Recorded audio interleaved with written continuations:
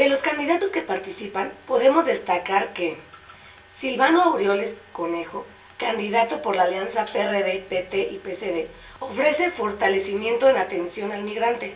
Afirmó que con políticas públicas de generación de empleos se puede abatir la migración, reducir la inseguridad y ofrecer mejores condiciones de vida a los michoacanos.